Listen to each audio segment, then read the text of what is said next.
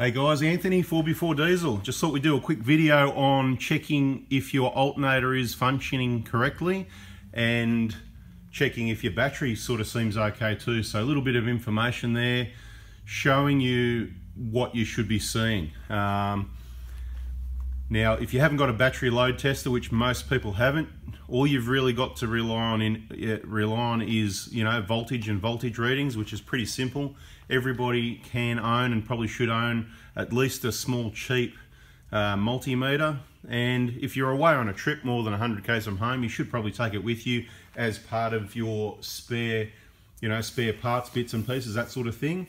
Um, there's other ways you can do it. If you've got um, voltage, you know, output sort of readings. You know, you can buy little things that go in your cigarette lighter for about five or six bucks off eBay that show you the temperature and the voltage. So they're handy. They're not super accurate, but they're close enough to give you a guide for what you want to check. Now, if your battery light comes on, generally what it means is, look, I don't know the exact specific voltage, but once it goes under a certain voltage, that's where your battery light comes on. It could be your battery, it could be your alternator, but it's most likely going to be your alternator that's not charging. Um, if you've got a really old battery, then maybe there's a chance the battery's completely dead, but generally if your alternator's charging, your battery light's going to be off. So I'm going to blame the alternator for the battery light. It's a bit old, isn't it? They should have an alternator light instead of a battery light. Wasn't too intelligent, was it? anyway, this battery, it hasn't been, the vehicle hasn't been run or charged for at least a few days and it's had the doors open and stuff like that, draining the main cranking battery here, which is almost, I'll keep forgetting, but it's about, must be coming up near six years old.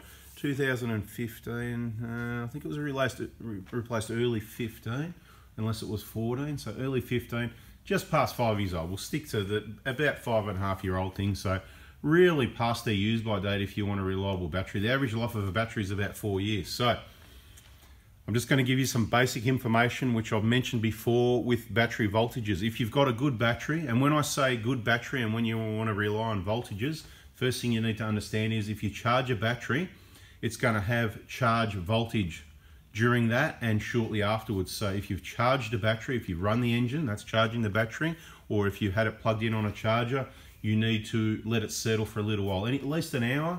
Some batteries takes even longer, you know, so if you can, without any load on it, even longer, 24 hours. Not always possible. If it's your vehicle and you're out on a trip somewhere and oh, your car won't start and you've got your multimeter and you want to check your battery, if you come to your battery and connect normally with a multimeter, you'll just have a couple of, you know, positive and negative, you know, that's negative, that's positive, red, you know, red's the plus, whatever. We're not using those. We've got the clips connected to the battery because this unit's got two readouts.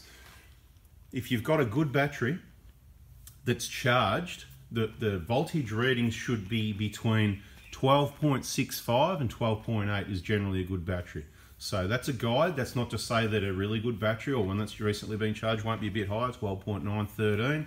And of course, a battery that if you've been sitting there with the doors open and the, the alternator hasn't been charging, your battery voltage can be down as well. So don't think because your battery voltage is down a little bit, um, you need a new battery because that could be wrong as well. You really need to get to testing the alternator and that's what we're going to do. So if your car won't start because the battery's flat, don't just think battery, because it could be your alternator not charging, which is why your battery lights come on and they've done the battery thing, right? Your battery's flat, the alternator's not charging. Often the alternator is the cause of the flat battery. Usually that's what it is.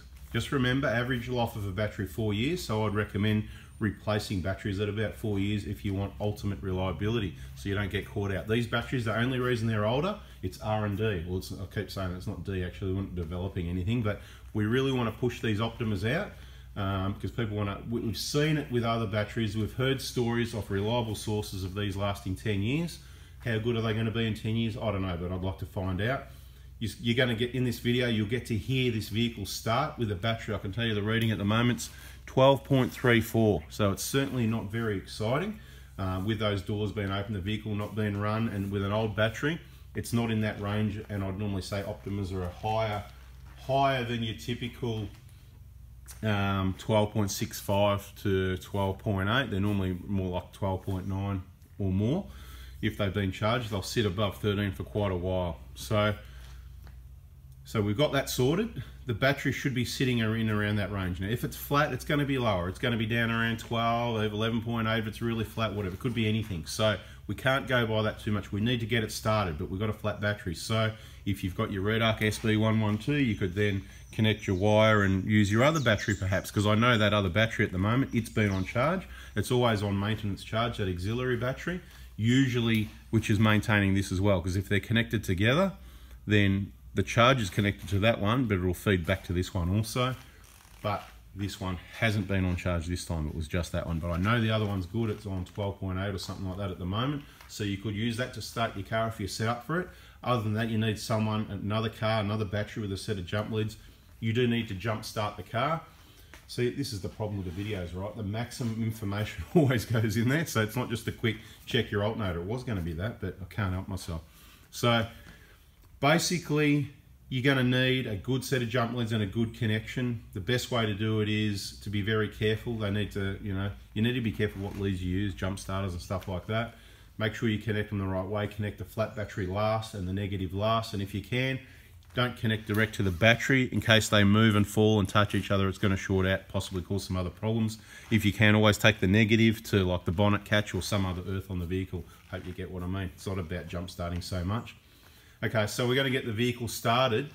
What voltage should we see? This is what you want to know. The voltage that we should see once the engine is started should be either side of the 14 volts is a good charge rate. Now, every vehicle varies. Um, it can be anything as low as 13 and a half. Um, sometimes they start up, the, they'll be higher. Um, smart alternators, you know, and they, they vary. It's a variable voltage alternator, so it could be anything from 13.3, 13.5, 13.8 Basically, that is charging. I'd like to see around 13.8 to 14.2 is what I like. I believe that gives the battery a good charge.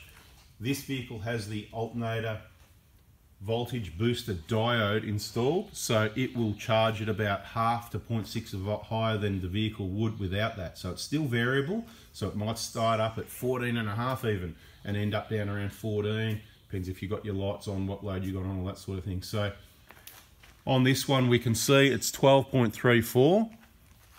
We've said what it should be if your alternator's charging, so I'm going to go ahead and start the engine and let's have a look and see what we've got, eh?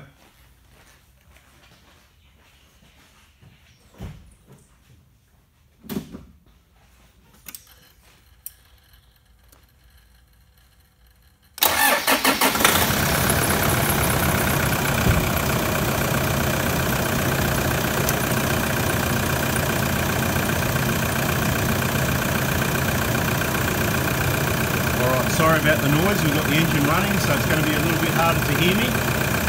So we won't do this for too long. But what I like to point out, we've got 14.5 core volts coming from the alternator. And the other thing I'd like to point out, even though that Optima is so old and the voltage was down to, uh, what was it, 12.34 and I even saw 12.28 while the interior light was on, very low see how well it started the engine? They are just absolutely dynamite, these batteries. I'm very impressed, even if you are not. So you can see the 14.5 volts, okay? Now, we're not going to leave the engine running too long because you probably can't hear me. It's going to be a bit annoying and nothing's going to change. So I'll go ahead and switch the engine off and we'll talk about what happens after that.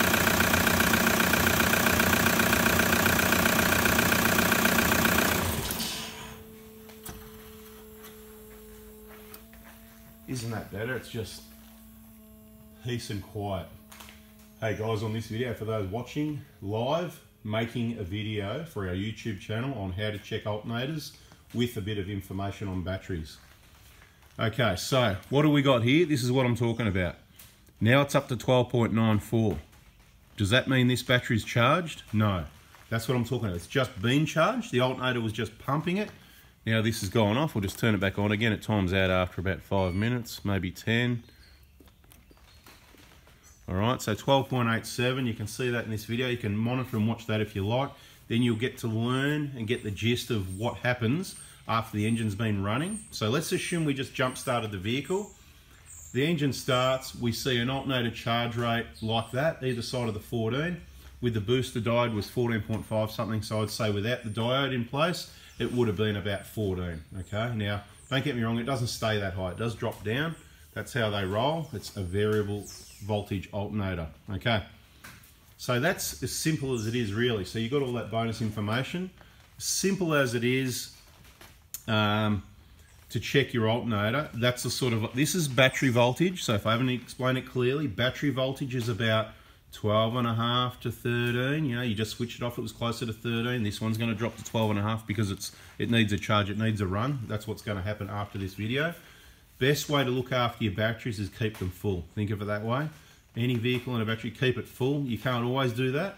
That's why cycling it does damage the battery. So by having a fridge in your car all the time running, it's just gonna it's just gonna, it's kind of like using up your battery unnecessarily. So when you park the vehicle, if you can plug it on a charger to maintain it, that's even better. Your batteries are going to last longer, and maybe that's why these last so long. Don't get me wrong, that blue one at the back there, which you can't see in this video because it's not really relevant, it gets absolutely pumped. It's been left days with fridges running, so it really gets hammered, but it also gets looked after. Now just looking at this voltage, you can see it dropping down 12.7 Obviously, battery voltage, as soon as we start the car, you'll see charge voltage. Let's do it one more time.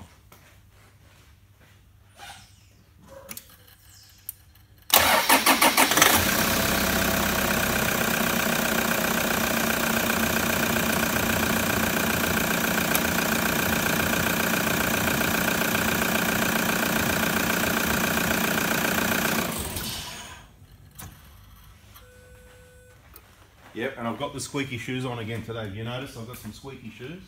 They're nice and comfy, but they're squeaky. All right, so that's the deal. You can see it again. Didn't go up too much because it hardly had a chance to kick in. And you can see how fast it's dropping. So this battery definitely needs a charge.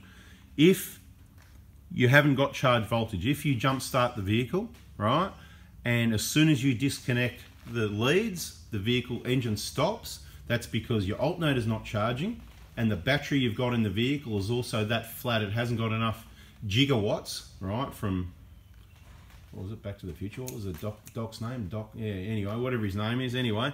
Um, Emmett, right, anyway, not enough gigawatts to even run the engine, so it's just going to stop. If you disconnect the jump car battery and it runs okay, but not so well, it could be just running on what's left. That battery here is recovered a little bit um, so that's the deal. Once you get it running, once you disconnect those leads, if it keeps running and it runs well, that's where you want to have your get your multimeter connected. Onto there's fine. You don't have to go to the alternator or anything. On the battery, it's all connected directly with massive cables. Um, get in there, check the voltage. If you're seeing charge voltage, you know your alternator's fine. And it can be an intermittent problem, okay? I'm going to give you a quick story with this one. Approximately six weeks ago, this vehicle right here uh, one afternoon in Deniliquin, the battery light came on, okay? And I thought, oh, awesome. Anyway, then you start thinking about your RAC total care. Glad that I've got that in place. Glad I carry a, a spare alternator. Oh, bugger. Someone on the trip that we share that alternator with is headed home and they took the alternator with them the day before. Isn't it always the way?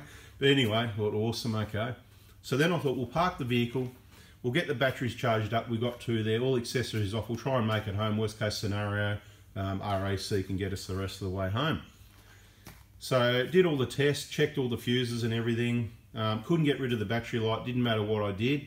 Put the batteries on charge. The next day in the afternoon, I started the vehicle and checked it, and the battery light was off. The, you know, it was fine, and the alternator was charging. Well, that's interesting. We'll see what happens in the morning. Left the batteries on charge. Um, Next morning, the alternator's charging, drove the vehicle around the park, charging, no problem, looking good, let's get out of here. Ran about 20, 30 k's down the road, the battery light flickered a couple of times and we watched the voltage drop it down to, there's a video on that, okay? I'm not sure which channel it's on, but there's a video on that. You can see that happening and it's now been over five weeks since then. We've been driving the vehicle have not seen the battery light come on or the battery light flicker, the voltage drop or anything whatsoever. So I'm interested to hear from anyone else also that's had an experience like that. Yes, there's something got to be done about the alternator. We can't risk it and leave it like that. But while we're in lockdown, um, I'm doing a bit of R&D to see what the heck is going on there. I've spoken to the auto elec. He's got many decades of experience, and he's not too sure either. He sort of seems to think, yeah, the rectifier whatever, the usual sort of thing, but why it would drop out and come back like that. Anyway, we'll get it looked at, we'll get to the bottom of it. So if you haven't already, subscribe so we can provide you that information once it comes in. If you got something out of that, give us a thumbs up. And bada boom, bada bing, we're out of here. See ya. Thanks for watching.